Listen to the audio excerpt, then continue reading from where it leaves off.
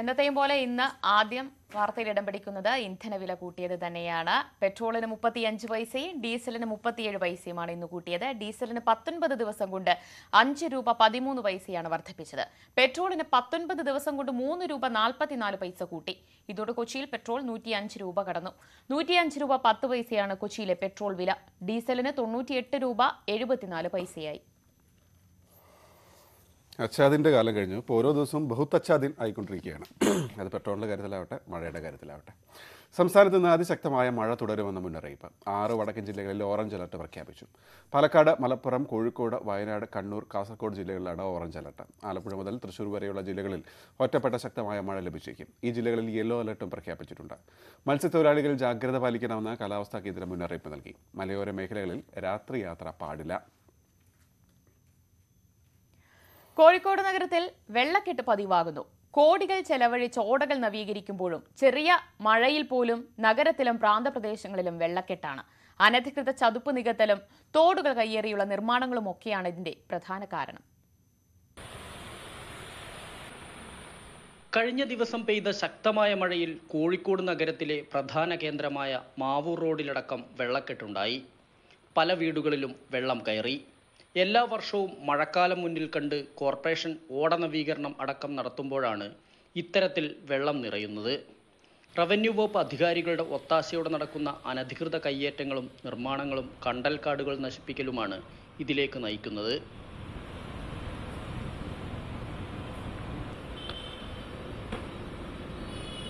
ചതുപ്പ് നിലങ്ങൾ നികത്തിയാണ് കോഴിക്കോട് നഗരം കെട്ടിപ്പൊക്കിയത്. അതുകാരണം നഗരത്തോട് ചേർന്നുള്ള പ്രദേശങ്ങളിലെ തോടുകളേറെയും ഗതിമാറിയാണ് ഒഴുകുന്നത്. പലതിന്റെയും ഒഴുക്ക് തടസ്സപ്പെട്ട നിലയിലാണ്. ഇതിനു പുറമെയാണ് നഗരത്തോട് ചേർന്നുള്ള തണ്ണീർത്തടങ്ങൾ നികത്തുന്നത്. ഫലമാകട്ടെ അല്പനേരത്തെ മഴയിൽ താഴ്ന്ന പ്രദേശങ്ങളെല്ലാം വെള്ളക്കെട്ടാവും. സാധാരണ പ്രളയത്തിന് പണ്ട് പ്രാവശ്യം കയറിയിട്ടുണ്ട്. പിന്നെ അങ്ങനെ കയറില്ലേനി പിന്നെ കഴിഞ്ഞ പ്രാവശ്യം കയറിയില്ല. ഇപ്പൊ അങ്ങനെ അന്നൊക്കെ ഒഴുക്കി പോലുണ്ടായിരുന്നു ഇപ്പൊ അത് മെയിനായിട്ട് ഇതാണ്. വെള്ളം അവിടുന്ന് ഇങ്ങോട്ട് എടുക്കുക ചെയ്യുന്നത്. അത് മേലെ തന്നെ തോട് വരുന്നുണ്ട്. അപ്പൊ അത് ഇപ്പൊ ഒഴുകി പോണില്ല. അങ്ങോട്ട് ആടൊക്കെ കണ്ടില്ലേ? ഒക്കെ അടഞ്ഞെടുക്കുകയാണ് ഈ അവസ്ഥ കൺമുന്നിൽ ഉള്ളപ്പോഴാണ് കോട്ടൂളിയിലെ കണ്ടൽ വനങ്ങൾ ഉൾപ്പെടുന്ന പ്രദേശത്ത് ക്വാറി മാലിന്യം തള്ളാൻ തുടങ്ങിയത്. നാട്ടുകാർ ഇടപെട്ടതോടെ റവന്യൂ വകുപ്പ് അധികൃതരെത്തി ഇത് തടഞ്ഞു. എന്നാൽ ചതുപ്പിൽ തള്ളിയ മാലിന്യങ്ങൾ എടുത്തുമാറ്റാൻ യാതൊരു നടപടിയും സ്വീകരിച്ചില്ല. കഴിഞ്ഞ ദിവസത്തെ മഴയിൽ ഈ പ്രദേശത്ത് റോഡ് പൂർണമായും വെള്ളത്തിലായിരുന്നു. ഒരു രാത്രിയും ഒരു പകലും പെയ്ത മഴ കൊണ്ട് കോഴിക്കോട് നഗരം വെള്ളക്കെട്ടായതിന്റെ പ്രധാന കാരണം ഇത്തരത്തിലുള്ള അശാസ്ത്രീയ പ്രവർത്തനങ്ങളാണ്. തണ്ണീർത്തടങ്ങൾ വ്യാപകമായി മണ്ണിട്ട് നികത്തുന്നതോടെ വീടുകളിലും വ്യാപാര സ്ഥാപനങ്ങളിലും മഴക്കാലത്ത് വെള്ളം കയറുന്നത് പതിവായിരിക്കുന്നു. Cameraman Vinod കുമാറിനൊപ്പം S Vinesh Kumar news eighteen Kozhikode. Thiruvananthapuram അന്താരാഷ്ട്ര വിമാനത്താവളം ഇനി അദാനി ഗ്രൂപ്പിന് സ്വന്തം. രാജ്യാന്തര വിമാനത്താവളം അർദ്ധരാത്രി അദാനി ഗ്രൂപ്പ് ഏറ്റെടുത്തു. ആദ്യമായാണ് സംസ്ഥാനത്തെ ഒരു വിമാനത്താവളം സ്വകാര്യവൽക്കരിക്കുന്നത്. വിമാനത്താവളത്തിന്റെ പേര് അദാനി ഗ്രൂപ്പ് ഉടൻ മാറ്റില്ല. ഉമേഷ് ബാലകൃഷ്ണ റിപ്പോർട്ട്. പന്ത്രണ്ട് മണിയോടെ തന്നെ അന്താരാഷ്ട്ര വിമാനത്താവളത്തിൽ നടന്ന ചടങ്ങിൽ തിരുവനന്തപുരം വിമാനത്താവളത്തിന്റെ ചുമതല അദാനി ഗ്രൂപ്പ് ഏറ്റെടുത്തു. അദോനി എയർപോർട്ടുകളുടെ ചുമതലയുള്ള മധുസൂദന റാവു ആയിരുന്നു ചുമതല ഏറ്റെടുത്തത്. എന്തായാലും ഇനി മുതൽ അദാനി ഗ്രൂപ്പായിരിക്കും തിരുവനന്തപുരം വിമാനത്താവളത്തിന്റെ പൂർണ നടത്തിപ്പ്. മികച്ച സേവനവും അടിസ്ഥാന സൗകര്യ വികസനവും അടക്കം യാത്രക്കാർ പ്രതീക്ഷിക്കുന്നുണ്ട്.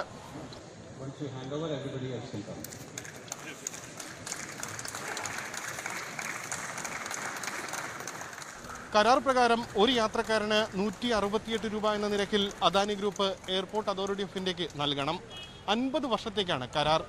നിലവിൽ മൂന്ന് വർഷത്തേക്ക് ഇപ്പോഴത്തെ ജീവനക്കാരിൽ കാര്യമായ മാറ്റമുണ്ടാകില്ല. എന്നാൽ യാത്രക്കാർ യാത്രാ നിരക്കിലെ ഇളവും കാർഗോ ഇളവുമടക്കം പ്രതീക്ഷിക്കുന്നുണ്ട്.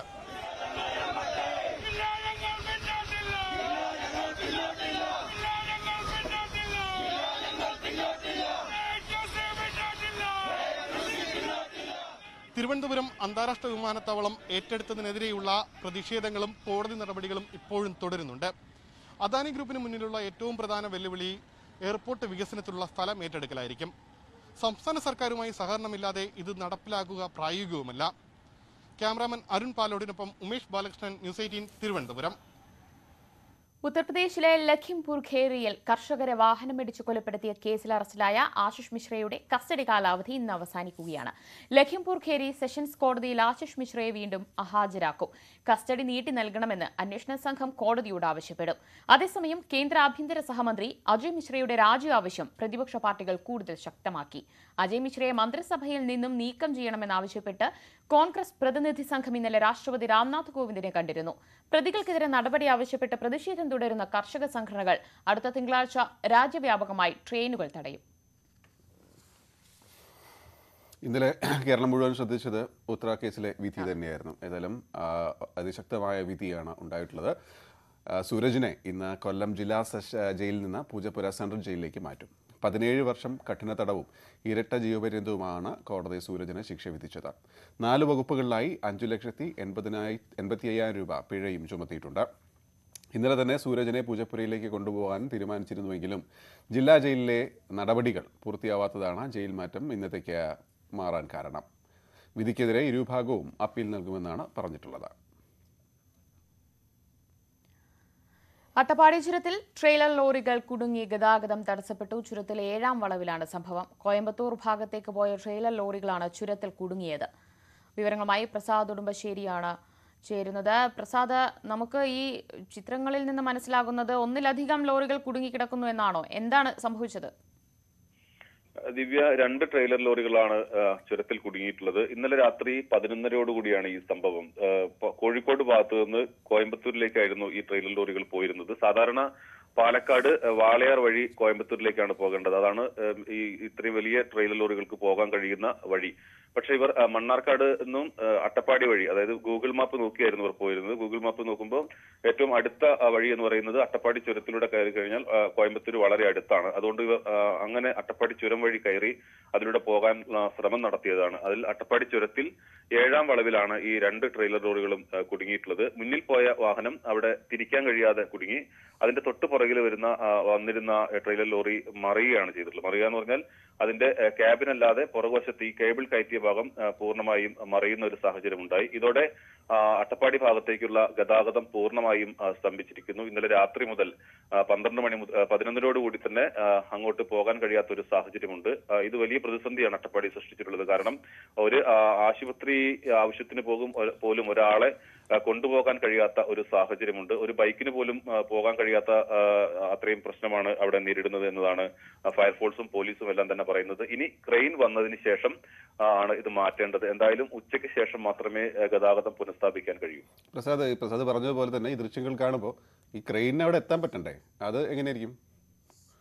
അതും ഒരു പ്രതിസന്ധിയാണ്. ഇപ്പൊ നമ്മൾ ഫയർ മണ്ണാർക്കാട് ഫയർഫോഴ്സ് ഓഫീസർമാരോട് സംസാരിച്ചപ്പോൾ ഒരു ക്രെയിൻ ഉപയോഗിച്ച് ഇത് മാറ്റാൻ കഴിയുമോ എന്നുള്ളതും ആശങ്കയുണ്ട്. അതുകൊണ്ട് തന്നെ രണ്ട് ക്രെയിനെങ്കിലും വേണ്ടി വരും.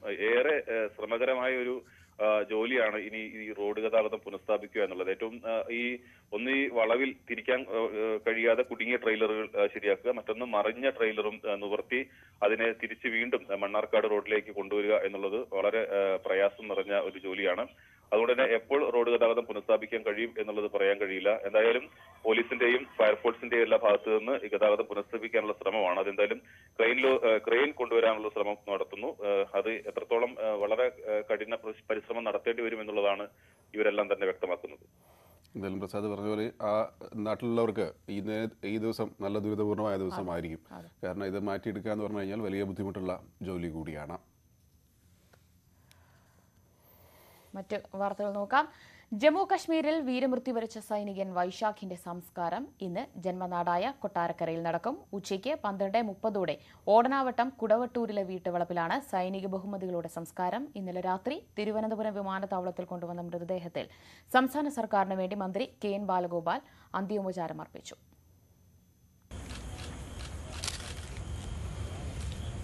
ധീരസൈനികൻ വൈശാഖിന്റെ ഭൗതിക ശരീരം രാത്രി ഒൻപതരയോടെയാണ് തിരുവനന്തപുരം വിമാനത്താവളത്തിലെത്തിച്ചത്.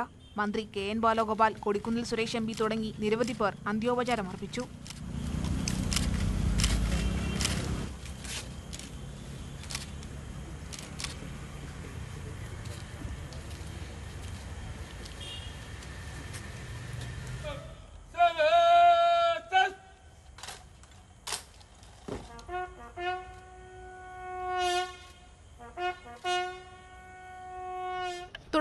പാങ്ങോട് മിലിറ്ററി ക്യാമ്പിലേക്ക് കൊണ്ടുപോയ മൃതദേഹം രാവിലെ വിലാപയാത്രയായി വൈശാഖ പഠിച്ച Kodavattoor pre primary L P സ്കൂളിലെത്തിക്കും മൃതദേഹം ഇവിടെ പൊതുദർശനത്തിന് വയ്ക്കും. ഉച്ചയ്ക്ക് പന്ത്രണ്ടരയോടെ ഓടനാവട്ടം കൊടവട്ടൂരിലെ വീട്ടുവളപ്പിലാണ് സംസ്കാരം. അവിടെ എൽ പി സ്കൂളിൽ ഒന്നര മണിക്കൂറാണ് ഇപ്പോൾ നമ്മൾ ഉദ്ദേശിക്കുന്നത്. ഇപ്പോൾ ആൾ കൂടുന്നതാണെങ്കിൽ പിന്നെ സമയം നീണ്ടുപോകും വീടിന്റെ ഫ്രണ്ടിൽ കുറച്ച് നേരം പൊതുദർശനത്തിന് വെക്കുക. അത് കഴിഞ്ഞിട്ട് കരയോഗത്തിന്റെ ഇതായിട്ട് വീടിനകത്ത് കൊണ്ടുവച്ച് പിന്നെ അമ്മയ്ക്കും ബന്ധുക്കൾക്കും പുഷ്പങ്ങൾ സമർപ്പിക്കാം. അത് കഴിഞ്ഞിട്ടാണ് നേരെ പട്ടാച്ചിതയിലേക്ക് കൊണ്ടുവന്നത്. കൊടവട്ടൂർ ആശൻമുഖ വിശാഖത്തിൽ ഹരികുമാറിന്റെയും ബീനയുടെയും മകനാണ് ഇരുപത്തിനാലുകാരനായ വൈശാഖ്. കശ്മീരിലെ പൂഞ്ച് ജില്ലയിലെ സുരൻഘോട്ടുണ്ടായ ഏറ്റുമുട്ടലിലാണ് വൈശാഖ് അടക്കം അഞ്ചു സൈനികർ വീരമൃത്യു വരിച്ചത്. രാജ്യത്തിന്റെ അഭിമാനമുയർത്തി വിടചൊല്ലിയ പ്രിയപ്പെട്ടവനെ ഒരു നോക്ക് കാണാൻ നാടും നാട്ടുകാരും വിങ്ങുന്ന ഹൃദയത്തോടെ കാത്തിരിക്കുകയാണ്. പത്തൊമ്പതാമത്തെ വയസ്സിൽ തന്നെ ജോലി നേടി. അതിൽ നിന്നും അവൻ നമ്മുടെ രാജ്യത്തെ സേവിച്ചു. അപ്പോൾ രാജ്യത്തിന് നമ്മുടെ രാജ്യത്തിന് വേണ്ടിയിട്ട് അവൻ അവന്റെ ജീവൻ ബലിയർപ്പിച്ചു. അപ്പോൾ അവന് അവന്റെ ഓർമ്മകൾക്ക് മുമ്പിൽ ആ ജവാൻ എന്നുള്ള രീതിയിൽ ഞാൻ എന്റെ അനുശോചനവും ഞാൻ ഈ സമയത്ത് അർപ്പിക്കുന്നു. ബിരുദ പഠനം നടത്തുന്നതിനിടെയാണ് അഞ്ചു വർഷം മുൻപ് വൈശാഖിന് സൈന്യത്തിൽ ജോലി ലഭിക്കുന്നത്. അടുത്തുതന്നെ ജോലിക്കയറ്റം ലഭിക്കാനിരിക്കെയാണ് വീരമൃത്യു. News eighteen Kottarakkara.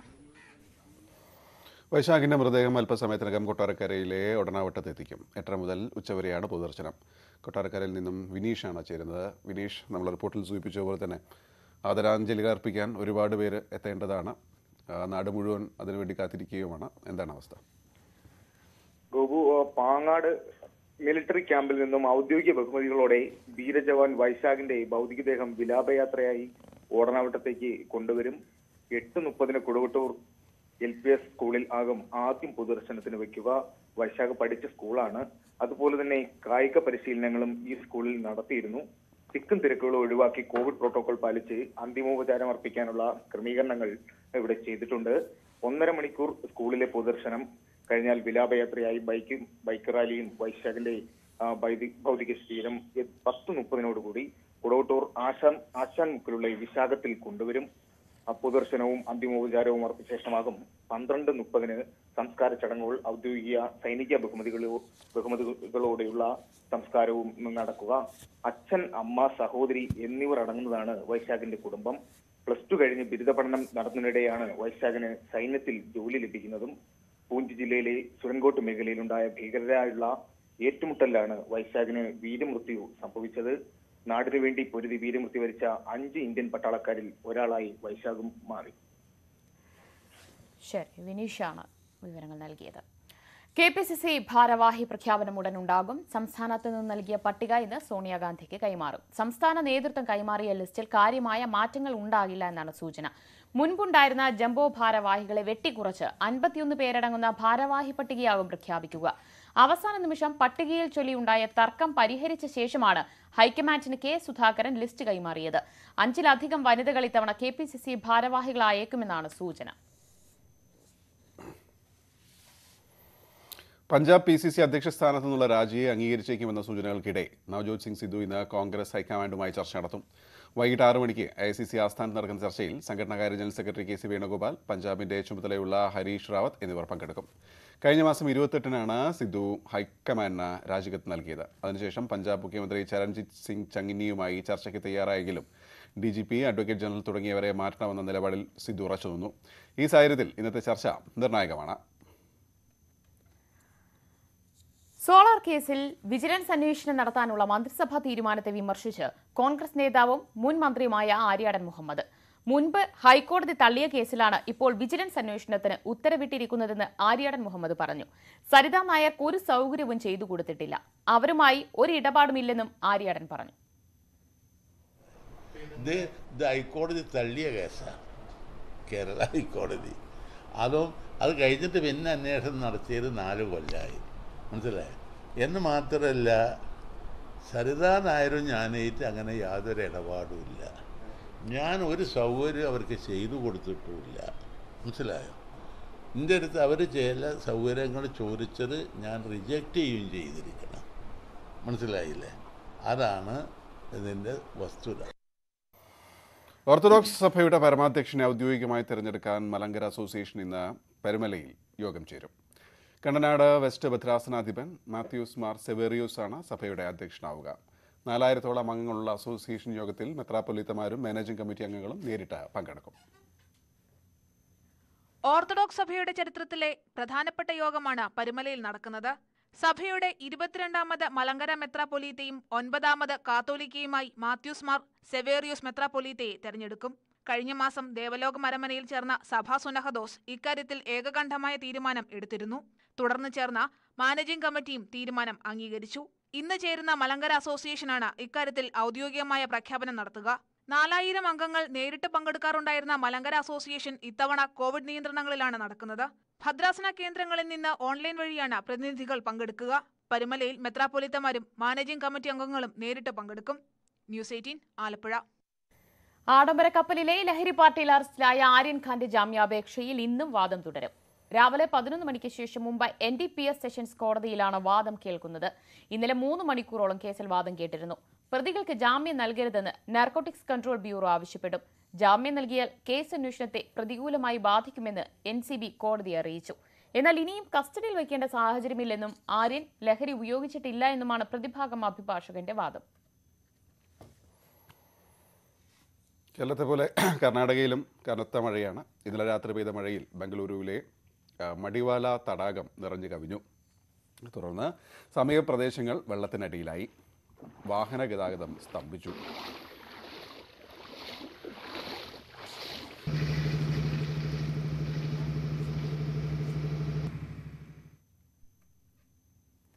ഇന്ന് മഹാനവമിയാണ്. ദേവീക്ഷേത്രങ്ങളിൽ പ്രത്യേക പൂജകൾ നടക്കും. കൊല്ലൂർ മൂകാംബിക ക്ഷേത്രത്തിൽ പ്രസിദ്ധമായ പുഷ്പ രഥോത്സവം ഇന്ന് രാത്രി എട്ട് മണിക്കാണ്. കർശന കോവിഡ് നിയന്ത്രണങ്ങളോടെയാണ് ഇത്തവണത്തെ നവരാത്രി ആഘോഷം.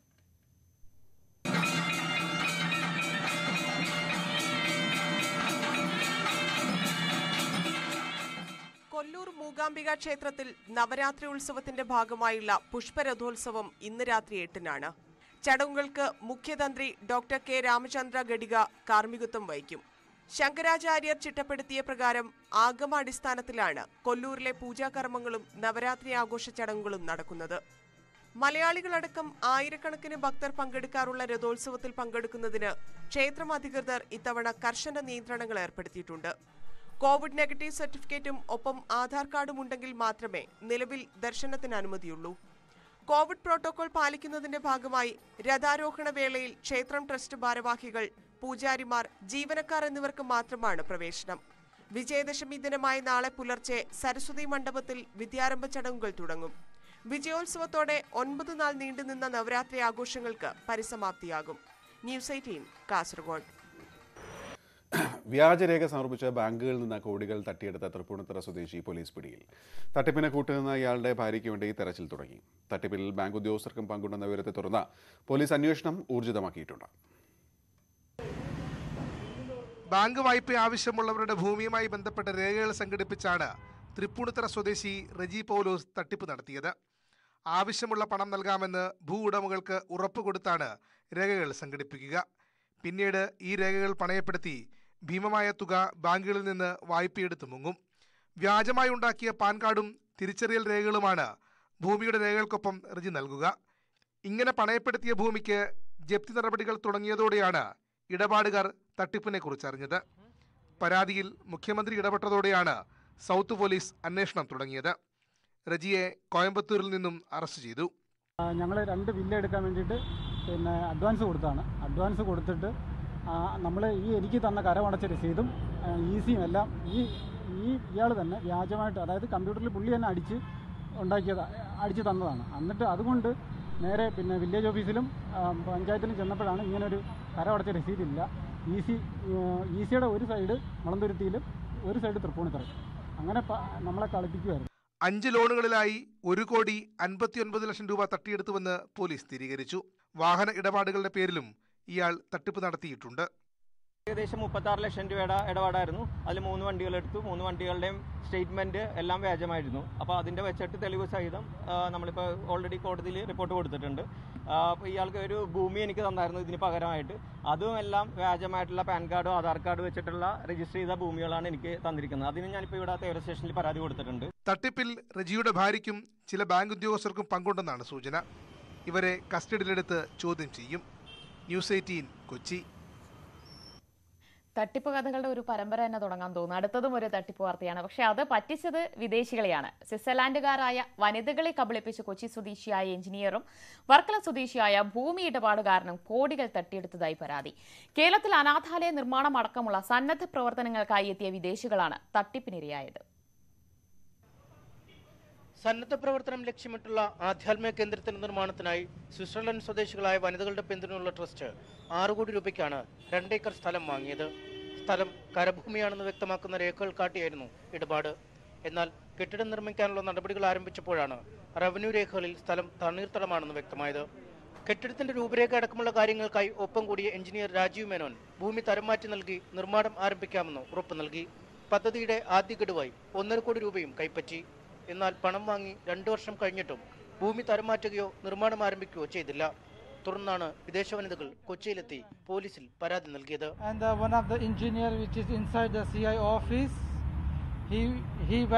the documents and he knew the document was a wetland and not a dry land and then he uh, made the construction offer and he made the calculations around 7 crore rupees and then he asked me the 30% uh, deposit then he took uh, 1 crore 30 lakh rupees and since he got the 1 crore 30 lakh rupees he construct the just uh, just a base for the 10 15 lakh rupees and then he disappear Rajeev മേനോനെതിരെ കേസെടുത്തതായി Ernakulam south I C P അറിയിച്ചു സ്റ്റേഷനിൽ വിളിച്ചു വരുത്തിയെങ്കിലും പക്കൽ പണമില്ലെന്നാണ് പ്രതിയുടെ വാദം bank രേഖകളടക്കം പരിശോധിച്ച് arrest അടക്കമുള്ള നടപടികളിലേക്ക് നീങ്ങാനാണ് police തയ്യാറെടുക്കുന്നത്. തട്ടിപ്പ് നടന്ന സ്ഥലത്തിന്റെ പരിധിയിലുള്ള വർക്കല പോലീസ് സ്റ്റേഷനിലേക്ക് കേസ് മാറ്റാനും സാധ്യതയുണ്ട്. News eighteen Kochi. തമിഴ്നാട്ടിൽ നിന്നുള്ള കുറുവ മോഷണ സംഘം പാലക്കാട് പിടിയിൽ. പാലക്കാട് ആലത്തൂർ. ഡിവൈഎസ്പിയുടെ നേതൃത്വത്തിൽ നടത്തിയ അന്വേഷണത്തിലാണ് മൂന്നംഗ സംഘത്തെ പിടികൂടിയത്. ഇവരിൽ നിന്നും സ്വർണാഭരണങ്ങൾ പിടികൂടി. പാലക്കാട് ജില്ലയിലെ വടക്കഞ്ചേരി നെന്മാറ കൊല്ലങ്കോട് ഒറ്റപ്പാലം മേഖലകളിൽ ഭീതി പരത്തിയ കുറുവ മോഷണ സംഘത്തെയാണ് ആലത്തൂർ ഡിവൈഎസ്പി കെ എം ദേവസ്യയുടെ നേതൃത്വത്തിൽ പിടികൂടിയത്. തമിഴ്നാട് തിരുപ്പവനം സ്വദേശി മാരിമുത്തു പാണ്ഡ്യൻ തങ്കപാണ്ഡ്യൻ എന്നിവരാണ് അറസ്റ്റിലായത്.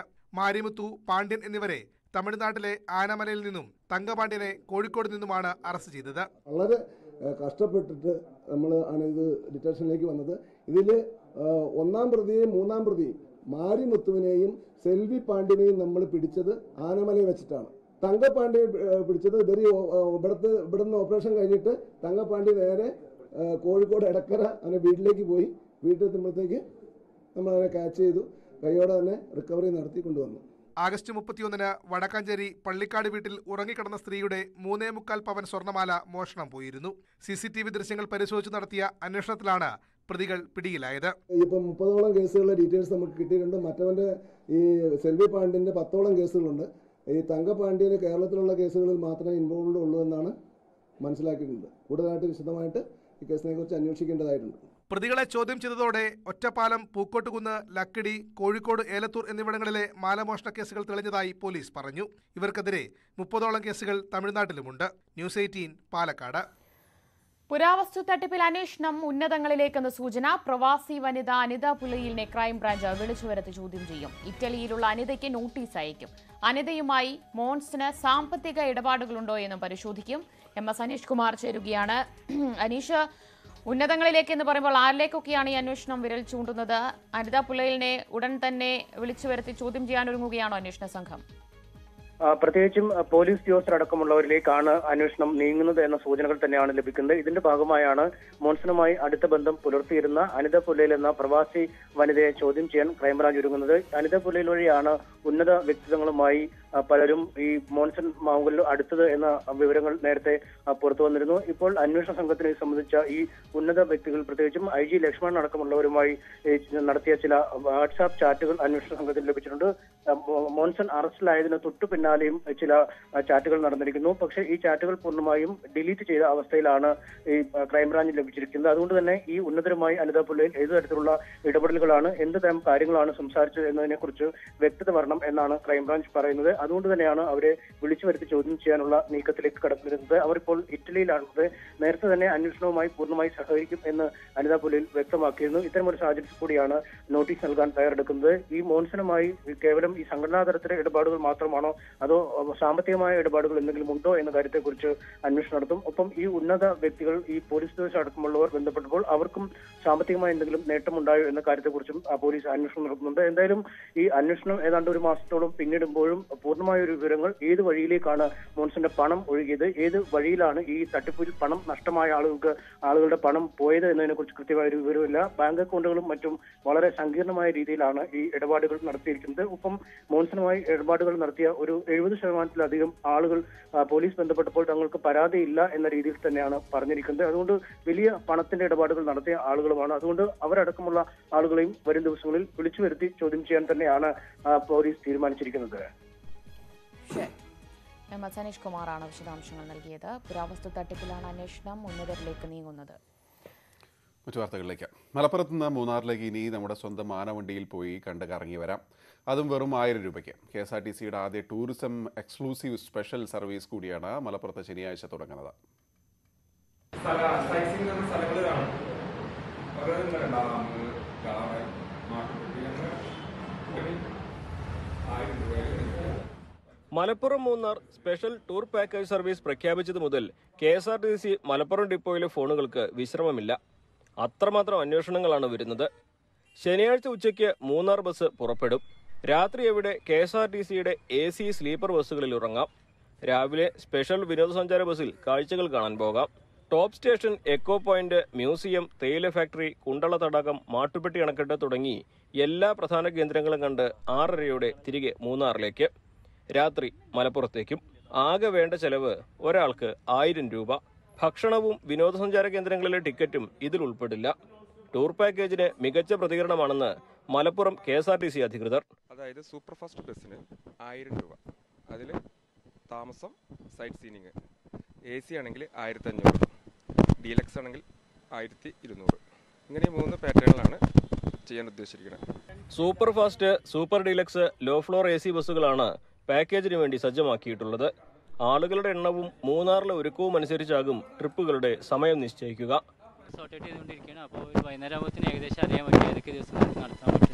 മലപ്പുറം മൂന്നാർ ഹിറ്റായാൽ മറ്റ് പ്രധാന ടൂറിസം കേന്ദ്രങ്ങളിലേക്കും ടൂർ പാക്കേജ് ട്രിപ്പുകൾ നടത്താൻ കെ എസ് ആർ ടി സിക്ക് ആലോചനയുണ്ട്. News eighteen Malappuram. ഏതായാലും സമീപ ദിവസങ്ങളിലായി ടൂറിസം മേഖലയിൽ പുതിയ പുതിയ പരീക്ഷ ടൂറിസം വരുന്നു. ഏതായാലും നന്നാവട്ടെ. ഇതൊന്ന് അടച്ചിരുന്ന് പുറത്തിറങ്ങുന്ന മനുഷ്യന് ഒരു എന്താ പറയുക ആസ്വാദനം ഉണ്ടാവാനുള്ള അവസരങ്ങൾ അത് മാത്രമല്ല ഈ കോവിഡ് വന്ന ഒരു രണ്ടു വർഷത്തോളം ഈ ടൂറിസം മേഖല വലിയ പ്രതിസന്ധിയാണ് നേരിട്ടുകൊണ്ടിരുന്നത്. അതുകൊണ്ട് ഇത്തരത്തിലുള്ള പദ്ധതികളെല്ലാം ഈ മേഖലയെ സജീവമാക്കട്ടെ. നമുക്കും ഒരുപാട് സ്ഥലങ്ങളൊക്കെ കാണാനുള്ള അവസരങ്ങളാണ് ഒരുങ്ങുന്നത്. എന്തായാലും നല്ല കാര്യം തന്നെ. മറ്റു വാർത്ത കൂടി. ഒറ്റ ദിവസം കൊണ്ടല്ല വിജയം യാഥാർത്ഥ്യമാകുന്നത്. നിശ്ചയദാർഢ്യത്തോടെ നടത്തുന്ന മുന്നേറ്റങ്ങളുടെ അന്തിമ ഫലമാണ് വിജയം. ഇന്ത്യയിലെ ധവള വിപ്ലവം അതിന്റെ ഉദാഹരണമാണ്. ധവള വിപ്ലവത്തിന് നാന്ദി കുറിച്ച് ഗുജറാത്തിലെ രണ്ട് ഗ്രാമങ്ങളിൽ തുടക്കമിട്ട അമുൽ എഴുപത്തി അഞ്ചാണ്ട് പിന്നിടുകയാണ്. അമുൽ പിന്നിട്ട വഴികളെക്കുറിച്ച് അറിയാം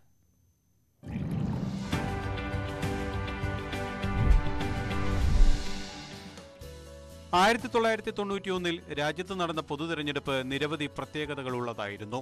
ആ വർഷത്തെ അമുലിന്റെ പരസ്യം ഈ തെരഞ്ഞെടുപ്പ് വിഷയമാക്കിയുള്ളതായിരുന്നു. തെരഞ്ഞെടുപ്പിൽ നേതാക്കൾ വോട്ടിനായി നിരവധി വാഗ്ദാനങ്ങൾ നൽകും. തങ്ങളുടെ സ്ഥാനാർത്ഥിക്കായി വോട്ട് തേടും. റൊട്ടി കപ്പട മക്കാൻ എന്നീ സിനിമകളുടെ പേരിൽ വീട് എന്നർത്ഥമുള്ള മക്കാൻ എന്ന വാക്കിനു പകരം വെണ്ണ എന്നർത്ഥമുള്ള മഖൻ എന്ന വാക്കാണ് അമുൽ പരസ്യത്തിൽ ഉപയോഗിച്ചത്. അമുൽ ബട്ടറാണ് യഥാർത്ഥ ചോയ്സ് എന്നായിരുന്നു പരസ്യവാചകം.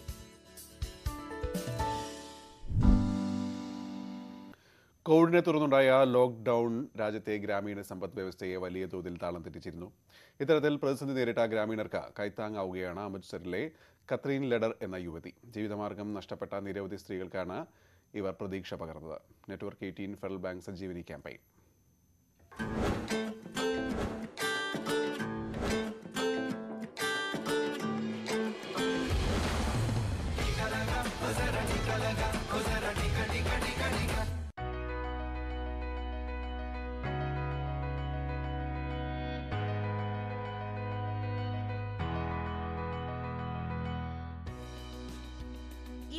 അമൃതസറിലെ ദയാർ ഭട്ടി ഗ്രാമം. കോവിഡ് മൂലം വലിയ കഷ്ടതകൾ അനുഭവിച്ചവരാണ് ഈ ഗ്രാമവാസികൾ. ഇവർക്ക് പ്രകാശവുമായി എത്തുകയാണ് കാത്ലീൻ ലാഡർ എന്ന സാമൂഹിക പ്രവർത്തക. ഇവിടുത്തെ സ്ത്രീകൾ അച്ചാർ നിർമ്മാണത്തിലൂടെ ജീവിത പ്രതിസന്ധിക്ക് കാത്ലീൻ മറുവഴി കാണിച്ചു കൊടുത്തു. നാരങ്ങയും മുളകും ഇഞ്ചിയും കടുകെണ്ണയുമെല്ലാം കാത്ലീൻ തന്നെ ആദ്യം എത്തിച്ചു കൊടുത്തു. പാക്ക് ചെയ്യാനുള്ള കുപ്പിയും. സർ ലോക്ക്ഡൗൺ ജബ് ശുരു ഹുവാ तो लोग घरों में बैठे थे काम काज कोई नहीं था बिल्कुल मतलब वो अ, आर्थिक हालात उनके बहुत कमज़ोर हो गए थे हालात बद से बदतर हो गए थे बहुत ख़राब थे लोगों के पास मतलब राशन के लिए भी बड़ा मुश्किल हो रहा था हमने एक ग्रुप शुरू किया सेल्फ हेल्प ग्रुप जिसमें दस लेडीज़ को लिया और दस लेडीज़ ने हमने यहीं पर बैठ के काम शुरू किया പ്രതിസന്ധികളിൽ തളരാതെ ഒന്നിച്ചു നിന്നപ്പോൾ കൂട്ടായ്മയുടെ ശക്തി ഇവർ തിരിച്ചറിയുകയായിരുന്നു അച്ചാർ നിർമ്മാണത്തിനു പുറമെ മറ്റൊരു സംഘത്തെ മാസ്കും പേപ്പർ കവറുകളും നിർമ്മിക്കാനും പരിശീലിപ്പിച്ചു ഇവ നഗരങ്ങളിലെത്തിച്ച് വിൽപ്പന നടത്താൻ മാർഗവുമൊരുക്കി सोच हमारी यही थी कि लेडीज़ जो है वो आत्मनिर्भर हो सकें और अपने मतलब घरों के हालात जो हैं उनके वो थोड़े ठीक हो सके काम और कर सकते हैं जैसे ये काम तो हमारे चल रहे जूट का बैग बना सकते हैं सिलाई का काम लेडीज़ कर सकती हैं ब्यूटिशन का काम कर सकती हैं वो जिस जिसमें मतलब जिस लेडी का इंटरेस्ट है उसको हम सिखा सकते हैं काम। इस उदाहरण से मैंने सीखा कि लोगों के पास लेडीज़ के पास टैलेंट है लेकिन वो घर से बाहर निकल कर काम नहीं कर पाते। तो जो उनके पास टैलेंट है हम उसका यूज़ करेंगे और उनको काम देंगे और वो काम करेंगी बाहर निकलेंगी और उनकी जो आमदनी है वो भी बढ़ेगी आर्थिक स्थिति में बढ़ोतरी होगी। वो खुद से कुछ भी अपने लिए काम कर सकती हैं अपने लिए जी सकती हैं किसी के दूसरे के ऊपर निर्भर नहीं रहेगी। सिर्फ़ दस लेडीज़ जो हैं उनका ही नहीं मतलब दस परिवारों की आमदनी बढ़ी है और उन जो वो जो लेडीज़ हैं उनका सशक्तिकरण भी हुआ है तो हम कह सकते हैं कि अ, ये एक मिसाल बन चुकी है अ, कैथलिन का जो ग्रुप है कि दूसरी लेडीज़ के लिए दूसरी औरतों के लिए സ്ത്രീകളെ ശാക്തീകരിച്ച് കോവിഡ് പോരാട്ടത്തിന് കരുത്തു പകർന്ന് കാത്തലീൻ ഈ ക്യാമ്പയിൻ യാത്രക്കിടെ കണ്ട സഞ്ജീവനി ചാമ്പ്യന്മാരിൽ ഒരാളാവുകയായിരുന്നു ഇത്തരത്തിലെ മുന്നണി പോരാളികളാണ് കോവിഡ് പോരാട്ടത്തിൽ രാജ്യത്തിന് കരുത്തു പകരുന്നത്. ന്യൂസ് എയ്റ്റീൻ അമൃത്സർ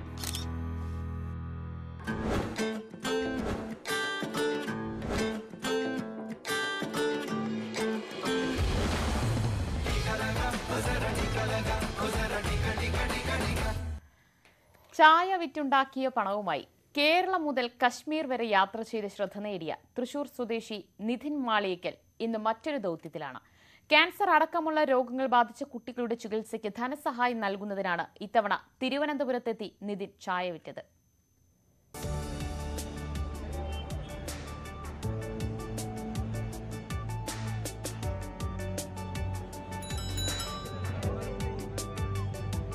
യാത്രകളെ അതിയായി സ്നേഹിക്കുന്ന നിധി തന്റെ ഹെർക്കുലി സൈക്കിളിൽ പ്രയാണം തുടരുകയാണ്. ചായ വിറ്റുണ്ടാക്കിയ പണവുമായി തൊണ്ണൂറ്റി രണ്ട് ദിവസങ്ങൾ കൊണ്ടാണ് നിധിൻ കേരളം മുതൽ കശ്മീർ വരെ യാത്ര നടത്തിയത്. ഇതിനു പിന്നാലെ കേരള പര്യടനവും തുടങ്ങി. ലോക ടൂറിസം ദിനത്തിൽ തൃശൂരിൽ നിന്നാണ് നിധിൻ കേരളം ചുറ്റാൻ തുടങ്ങിയത്. യാത്രയുടെ ഭാഗമായി തിരുവനന്തപുരത്തെത്തിയ ഈ ഇരുപത്തിനാലുകാരൻ ക്യാൻസർ അടക്കമുള്ള രോഗങ്ങൾ ബാധിച്ച കുട്ടികളുടെ ചികിത്സാ സഹായത്തിനായി പ്രവർത്തിക്കുന്ന സംഘടനയ്ക്ക് ധനസഹായം നൽകുന്നതിനാണ് സെക്രട്ടേറിയറ്റിന് മുന്നിൽ ചായ വിറ്റത്.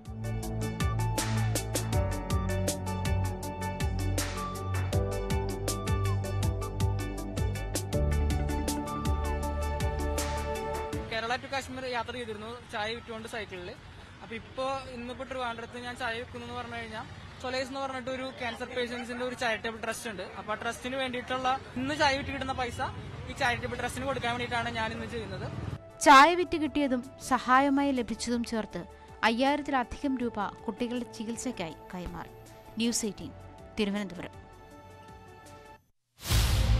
कभी सन्यासी तो कभी राजनीतिज्ञ रॉकस्टार पीएम भी और स्वच्छता अभियान के नायक भी। क्या हम तय करें कि 2019 जब महात्मा गांधी की 150वीं जयंती बनाएँगे गंदगी का नाम और निशान नहीं रहने देंगे। अंतर्राष्ट्रीय राजनेता और राष्ट्र के प्रधान सेवक। कहानी एक विशेष जीवन की। मैं Narendra Damodar Das Modi Modi, the untold story. New episode. മണ്ണിനടിയിൽ കുടുങ്ങിയ തെരുവ് നായയും കുഞ്ഞുങ്ങളെയും രക്ഷപ്പെടുത്തി യുവാവും തൊഴിലാളികളും പാലക്കാട് തൃത്താലയിലാണ് അപകടത്തിൽ ജീവൻ നഷ്ടമാകുമായിരുന്ന ഇവയ്ക്ക് പുതുജീവൻ നൽകിയ രക്ഷാപ്രവർത്തനം ഉണ്ടായത്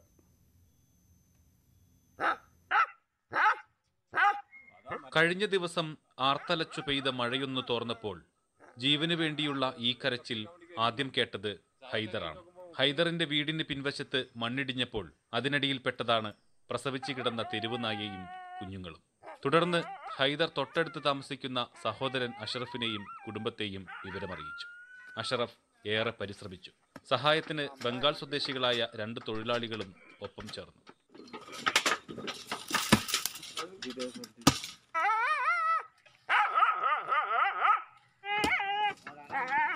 ഒന്നര മണിക്കൂർ നീണ്ട പരിശ്രമത്തിനൊടുവിൽ മണ്ണിനടിയിൽ കുടുങ്ങിയ നായയെയും രണ്ട് നായക്കുട്ടികളെയും രക്ഷപ്പെടുത്തി.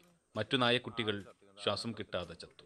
മൂന്ന് ദിവസമായി പരിസരത്ത് ഇങ്ങനെ നായുടെ പട്ടിയുടെ സൗണ്ട് കേൾക്കണേ. പിന്നെ ശക്തിയായിട്ടുള്ള മഴ കാരണം ഇടിഞ്ഞിട്ട് എനിക്ക് മണ്ണ് വീണിട്ട് അതിനകത്ത് അകപ്പെട്ടിട്ട് കിടന്നിരുന്നത് സൗണ്ട് മാത്രം ചെറുതായിട്ട് കേട്ടിരുന്നുള്ളൂ. പിന്നെ നമ്മൾ മണ്ണ് മാന്തി വെക്കുമ്പോൾ പട്ടിയുടെ തല മാത്രം കണ്ടു. അത് കഴിഞ്ഞിട്ട് ഒന്ന് നന്നായി മാന്തി എടുത്തപ്പോൾ അതിനകത്ത് അഞ്ചാറ് കുട്ടികളുണ്ടായിരുന്നു. അതിൽ രണ്ടെണ്ണത്തിന് ജീവ ജീവുണ്ടായിരുന്നു ബാക്കിയൊക്കെ പിന്നെ ചത്തിട്ടുണ്ടായിരുന്നു.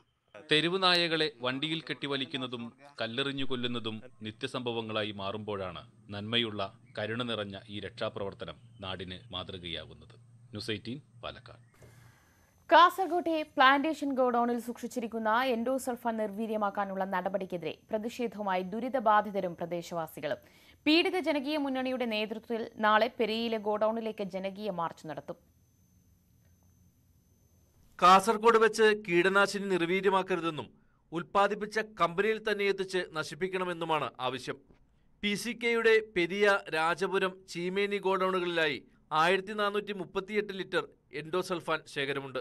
ഇത് നിർവീര്യമാക്കാനുള്ള നടപടികളുമായി ഭരണകൂടം മുന്നോട്ടു പോവുകയാണ്. ഇരുപത് വർഷത്തിനു ശേഷമാണ് കീടനാശിനി നശിപ്പിക്കാനുള്ള നടപടി ഉണ്ടാവുന്നത്. ജില്ലാ ഭരണകൂടം രഹസ്യമായിട്ടാണ് ഇതിനുള്ള നീക്കം നടത്തുന്നതെന്നാണ് എൻഡോസൾഫാൻ പീഡിത ജനകീയ മുന്നണിയുടെ ആരോപണം. സംഭവത്തിൽ പ്രതിഷേധിച്ച് പെരിയയിലെ ഗോഡൌണിലേക്ക് നാളെ പ്രതിഷേധ മാർച്ച് നടത്തും. എൻഡോസൾഫാൻ സമരനായിക ലീലാകുമാരിയമ്മ മാർച്ച് ഉദ്ഘാടനം ചെയ്യും. ഇത് കാസർഗോട്ടെ ജനങ്ങളോടുള്ള ഒരു വെല്ലുവിളിയായിട്ടാണ് ഞങ്ങൾ കാണുന്നത്. ഇരുപത് വർഷക്കാലമായി ഒരേ ഗോഡൗണിൽ കിടക്കുന്ന ഈ വിഷത്തിന്റെ രൂപമാറ്റങ്ങൾ എന്തൊക്കെയാണെന്ന് പോലും മനസ്സിലാക്കാതെയാണ് അതിന്റെ ഘടകങ്ങൾ എന്താണെന്ന് പോലും തിരിച്ചറിയാതെയാണ് വളരെ എളുപ്പത്തിൽ ഇത് കുഴിയെടുത്ത് കത്തിച്ചുകൊണ്ട് നിർ നിർവീര്യമാക്കാനുള്ള നടപടികൾ മായി മുന്നോട്ട് പോയിക്കൊണ്ടിരിക്കുന്നത്. ഇത് ഒരു കാരണവശാലും അംഗീകരിക്കത്തക്കതല്ല. കാർഷിക ഗവേഷണ കേന്ദ്രത്തിന്റെ സാങ്കേതിക സഹായത്തോടെ പ്ലാന്റേഷൻ കോർപ്പറേഷനും ജില്ലാ ഭരണകൂടവും ചേർന്നാണ് കീടനാശിനി ശേഖരം നിർവീര്യമാക്കുക. ആദ്യഘട്ടത്തിൽ പെരിയയിലും തുടർന്ന് മറ്റു രണ്ടിടങ്ങളിലും ഇത് നടപ്പാക്കും. പെരിയ ഗോഡൌണിനോട് ചേർന്ന് ഇതിനുള്ള പ്രത്യേക സംവിധാനം ഒരുക്കുന്നുണ്ട്. News eighteen Kasaragod. വാർത്തയിലേക്ക്. ഇടുക്കിയിൽ ജനവാസ മേഖലകളിലെ കാട്ടാനശല്യത്തിന് പരിഹാരം കാണാൻ വനം വകുപ്പ് ആലോചിച്ച് വേണ്ട നടപടി സ്വീകരിക്കുമെന്ന് മന്ത്രി റോഷി അഗസ്റ്റിൻ കഴിഞ്ഞ ഇരുപത് വർഷത്തിനിടയിൽ നാൽപ്പത്തിയൊന്ന് പേരാണ് ജില്ലയിൽ കാട്ടാനാക്രമണത്തിൽ മരിച്ചത്. ശാന്തൻപാറ പൂപ്പാറ ചിന്നക്കനാൽ മേഖലകളിലാണ് കാട്ടാനശല്യം ഏറ്റവും രൂക്ഷം. രണ്ടായിരത്തി ഒന്നിലാണ് ചിന്നക്കനാൽ മുന്നൂറ്റിയൊന്ന് കോളനിയിൽ ആദിവാസികൾക്ക് ഭൂമി നൽകി പുനരധിവസിപ്പിച്ചത്. കാട്ടാനകളുടെ ആവാസ മേഖലയിൽ ജനവാസം തുടങ്ങിയതോടെ ആനകൾ കാടിറങ്ങി തുടങ്ങി. ജലാശയത്തിന് സമീപമുള്ള വനത്തിൽ ഒറ്റപ്പെട്ടുപോയ മുപ്പത്തി എട്ട് ആനകളാണ് ഏറ്റവും അക്രമകാരികൾ. ട്രഞ്ച് നിർമ്മിച്ചും വൈദ്യുതി വേലി സ്ഥാപിച്ചും വന്യമൃഗങ്ങളുടെ ആക്രമണം തടയണമെന്ന കർഷകരുടെ ആവശ്യവും അവഗണിക്കപ്പെടുകയാണ്. ഈ പ്രശ്നങ്ങൾ വനം മന്ത്രിയുടെ ശ്രദ്ധയിൽപ്പെടുത്തുമെന്നും നടപടി ഉണ്ടാകുമെന്നും മന്ത്രി റോഷി അഗസ്റ്റിൻ പറഞ്ഞു. കാട്ടുമൃഗങ്ങൾ വരാതിരിക്കുകയും അതിനെ തട സൃഷ്ടിക്കുന്നതിനാവശ്യമായിട്ടുള്ള ഫെൻസിങ് അങ്ങനെയുള്ള ചില വിഷയങ്ങൾ കുറെ കൂടി കാര്യക്ഷമമാക്കാൻ ആവശ്യമായ നടപടി സ്വീകരിക്കുകയൊക്കെ ചെയ്യേണ്ടതായിട്ടുണ്ട്. ഇതെല്ലാം ഗവൺമെന്റ് ആലോചനയുള്ള കാര്യം തന്നെയാണ്. അതും സജീവമായിട്ടുള്ള ജാഗ്രത പുലർത്താൻ കൂടിയാലോചന ഉണ്ടാവും രണ്ടായിരത്തി ഒന്നിന് ശേഷം മൂലത്തറ എസ് വളവിൽ മാത്രം അഞ്ചു പേരാണ് കാട്ടാന ആക്രമണത്തിൽ കൊല്ലപ്പെട്ടത്. വന്യമൃഗങ്ങളുടെ ആക്രമണത്തിൽ കൊല്ലപ്പെട്ടവരുടെ കുടുംബങ്ങൾക്ക് കാര്യമായ നഷ്ടപരിഹാരം ലഭിക്കാറില്ലെന്നും ഇവിടുത്തുകാർ പറയുന്നു. News eighteen Idukki. കനത്ത മഴയിൽ പട്ടാമ്പിയിൽ ഏക്കർ കണക്കിന് നെൽകൃഷി വെള്ളത്തിനടിയിലായി. കൊണ്ടൂർക്കര പാമ്പാടി പാടശേഖരത്തിലാണ് നെൽകൃഷി നശിച്ചത്. മൂപ്പെത്തി കൊയ്യാറായ കൃഷിയാണ് വെള്ളത്തിനടിയിലായത്. കനത്ത മഴയിൽ പാടശേഖരങ്ങൾ വെള്ളത്തിനടിയിലാണ്. ഇത് പട്ടാമ്പിയിലെയും പരിസര പ്രദേശങ്ങളിലെയും നെൽകർഷകരെ കണ്ണീരിലാഴ്ത്തി. ശക്തമായ മഴയിൽ കൊണ്ടൂർക്കര പാടത്തിലെ കൊയ്യാറായ നെൽകൃഷി വെള്ളത്തിൽ മുങ്ങി. കൊയ്യാനുള്ള യന്ത്രമടക്കം പാടത്തെത്തിച്ച കർഷകർക്ക് വലിയ നഷ്ടമാണുണ്ടായത്. ശക്തമായ ഒഴുക്കിൽ നെൽക്കതിരുകൾ നനയുകയും ഒടിയുകയും ചെയ്തതിനാൽ ഇനി കൊയ്യാൻ സാധിക്കില്ല.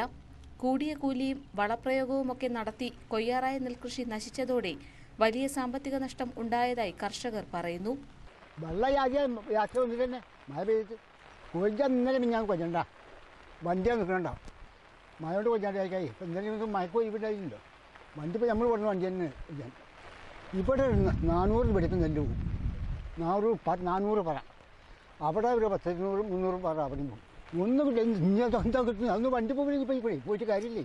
കൊണ്ടൂർക്കര പാമ്പാടി പാടശേഖരം ഭൂരിഭാഗവും വെള്ളത്തിനടിയിലാണ്. പലരും ബാങ്ക് വായ്പയെടുത്തും പാട്ടത്തിനെടുത്തുമൊക്കെയാണ് കൃഷി ചെയ്യുന്നത്. കാലവർഷക്കെടുതിയിൽ നഷ്ടം വന്ന കർഷകർക്ക് സർക്കാർ സഹായം ലഭ്യമാക്കണമെന്നും ആവശ്യമുണ്ട്. എല്ലാം മൊത്തം മൂടിപ്പോയി. ഇപ്പോൾ ഇവിടുത്തെ ഇത് കാണുന്ന എല്ലാം നെല്ലാണ്. ഈ മൂടി കിടക്കുന്ന എല്ലാം നെല്ലാണ് മിഷീനതാ വന്ന് നിൽക്കണോ? മിഷീൻ വന്ന് നിൽക്കുന്നുണ്ട്. കൊയ്യാൻ പറ്റാത്ത അവസ്ഥയാണ്. പൂട്ടാൻ വേണ്ടിയിട്ട് ട്രാക്ടർ വന്ന് നിൽക്കുന്നുണ്ട്. അതിനും പറ്റാത്ത അവസ്ഥയിൽ കംപ്ലീറ്റ് വെള്ളം മൂടിയിരിക്കുകയാണ്. നാൽപ്പതിലധികം കർഷകരാണ് പ്രദേശത്തുള്ളത്.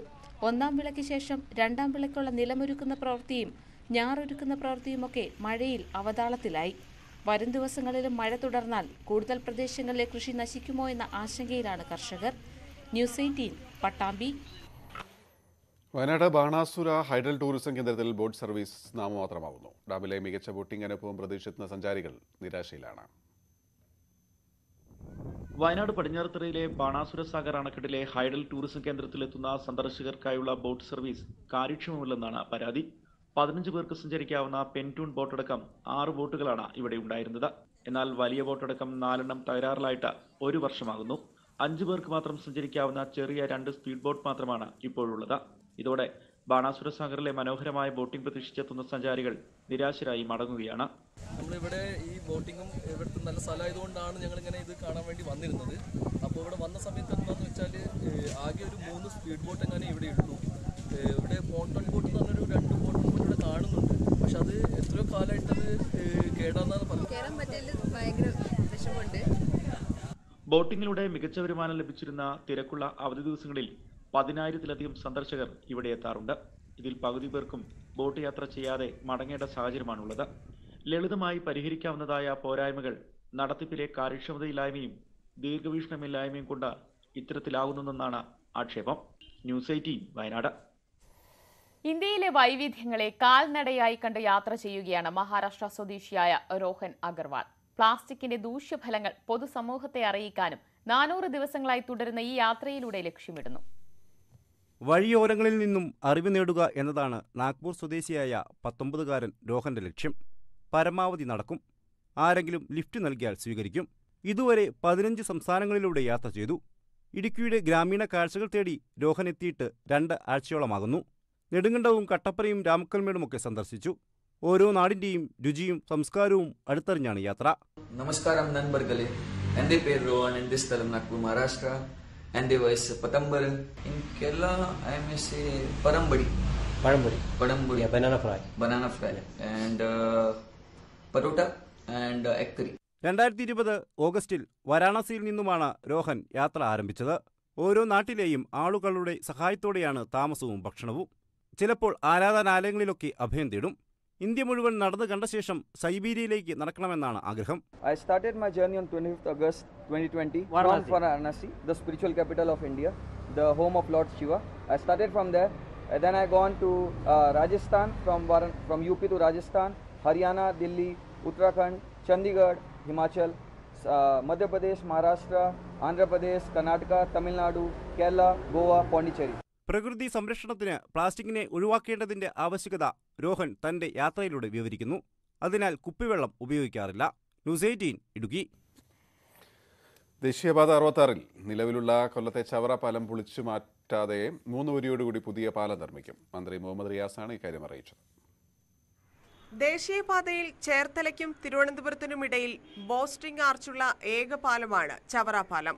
വലിയ വാഹനങ്ങൾ കടന്നു പോകുമ്പോൾ മുകളിലത്തെ ബീമിൽ തട്ടി ഏറെ നേരം ഗതാഗതക്കുരുക്കുണ്ടാകുന്നത് നിത്യസംഭവമാണ്. ദേശീയപാത വികസനത്തിന്റെ ഭാഗമായി ഈ പാലം പൊളിച്ചു മാറ്റി പുതിയ പാലം നിർമ്മിക്കണമെന്നാണ് Chavara M L A doctor Sujith Vijayan Pillai നിയമസഭയിൽ ഉന്നയിച്ചത്. എന്നാൽ ഈ പാലം നിലനിർത്തിക്കൊണ്ട് തന്നെ പുതിയ മൂന്നുവരി പാലം നിർമ്മിക്കാനാണ് ദേശീയപാത വികസന അതോറിറ്റിയുടെ റിപ്പോർട്ടിൽ പറയുന്നതെന്ന് പൊതുമരാമത്ത് വകുപ്പ് മന്ത്രി പി എ മുഹമ്മദ് റിയാസ് നിയമസഭയിൽ അറിയിച്ചു. പുതിയ പാലം വന്നാൽ പഴയ പാലത്തിലെ ഗതാഗത കുരുക്ക് ഒഴിവാക്കാനാകുമെന്നാണ് കരുതുന്നത്. നാല് പോയിന്റ് ഒമ്പത് മീറ്റർ വേർട്ടിക്കൽ ക്ലിയറൻസ് ഉള്ളതാണ് നിലവിലുള്ള പാലം. ബീം ഉരസാതിരിക്കുവാനുള്ള സംവിധാനങ്ങൾ ഏർപ്പെടുത്തും. പാലത്തിന്റെ സുരക്ഷയ്ക്കായി പുനരുദ്ധാരണ പ്രവൃത്തി നടത്താമെന്നും നിർമ്മാണ സമയത്ത് ഐ ആർ സി മാനദണ്ഡമനുസരിച്ച് നടപടി സ്വീകരിക്കാമെന്നും അറിയിച്ചിട്ടുണ്ട്. ഈ പാലത്തിലൂടെ ഒരു ദിശയിലേക്കുള്ള വാഹനങ്ങൾ കടത്തിവിടും. പുതിയ പാലം കൂടി നിർമ്മിക്കുമ്പോൾ ഗതാഗത കുരുക്ക് പൂർണമായും ഒഴിവാകുമെന്നും ദേശീയപാത വികസന അതോറിറ്റിയുടെ റിപ്പോർട്ടിൽ പറയുന്നു. ചവറ പാലം R C C bowstring type arch bridge ആയതിനാൽ വീതി കൂട്ടാൻ കഴിയില്ല. നാല് പോയിന്റ് ഒൻപത് മീറ്റർ വെർട്ടിക്കൽ ക്ലിയറൻസ് ഉള്ള നിലവിലുള്ള പാലത്തിൽ ബീം ഉരസാതിരിക്കാനുള്ള സംവിധാനങ്ങൾ ഏർപ്പെടുത്തും. പാലത്തിന്റെ സുരക്ഷയ്ക്കായി പുനരുദ്ധാരണ പ്രവൃത്തി മന്ത്രി പി എ മുഹമ്മദ് റിയാസ് നിയമസഭയിൽ അറിയിച്ചു. News eighteen Chavara. ഇടവേള.